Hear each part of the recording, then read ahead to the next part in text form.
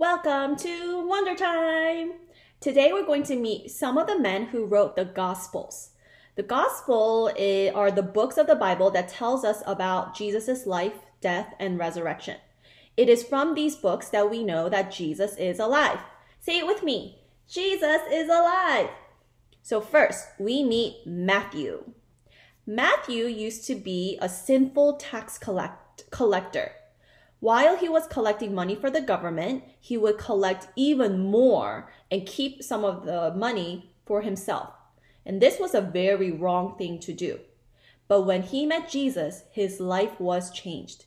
He stopped being a dishonest tax collector and followed Jesus.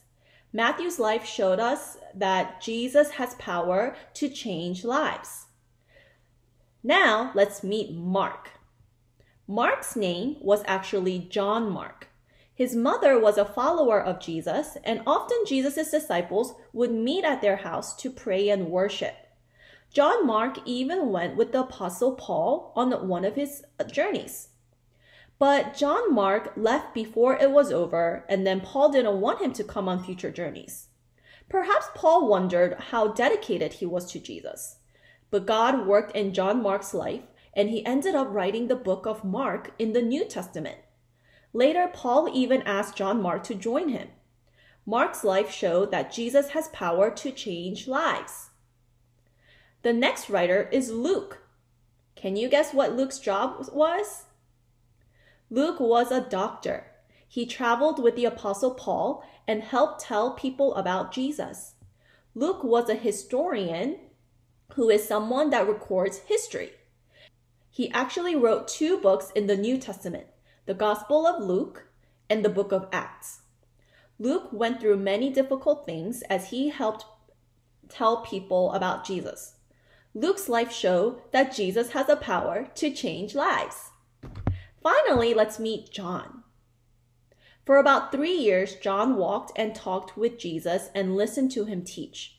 Later in his life, John suffered a lot for Jesus even being sent to live on an island all by himself.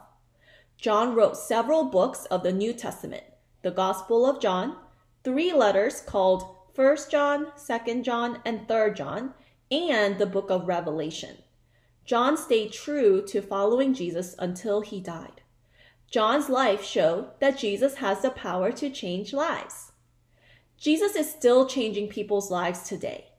If you believe in Jesus as your Savior, he has changed your life. The change in you means you are evidence that Jesus is alive and changing lives. You can read the four Gospels and read about what Jesus said and did. John wrote in his Gospel that many, many more books could have been written about Jesus. And if all of these books were written, it would be too many to fill all the bookshelves in the world. Imagine how many books that would be. If you are looking for a place to read in your Bible, the Gospel of Mark is a good place to start. Mark tells a lot of exciting stories about the things Jesus said and did. As you read, ask God to show you something new about Jesus you hadn't realized before. Thank God that Jesus save changes lives. Ask God to help you see verses that can help you explain to others that Jesus is alive. Will you start reading the Gospel of Mark this week?